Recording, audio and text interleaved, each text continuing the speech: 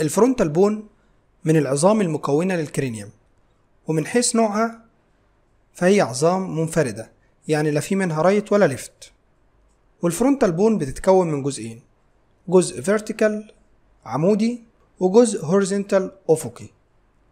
الجزء العمودي بيطلق عليه اسم squamous portion وبيشكل ال forehead أو ما يسمى باسم الجبين اللي هو مقدمة ال cranium.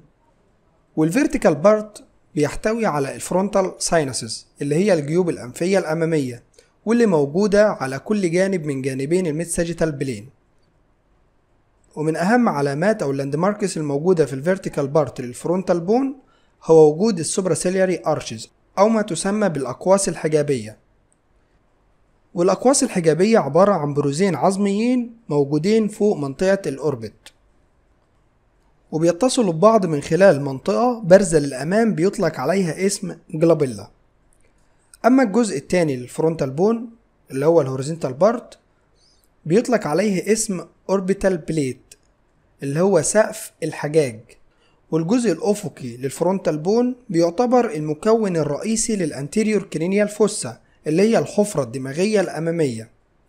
ومن أهم علامات أو ال landmarks الخاصة بالجزء الأفقي هو وجود ال supraorbital foramen أو ال supraorbital notches وهي عبارة عن ثقوب موجودة فوق كل orbit بيمر منها supraorbital nerve اللي هو العصب الفوق حجاجي. وبرضه من أهم علامات الجزء الأفقي لل frontal bone هو وجود منطقة ما بين ال orbital plate بتسمى باسم ethmoid notch.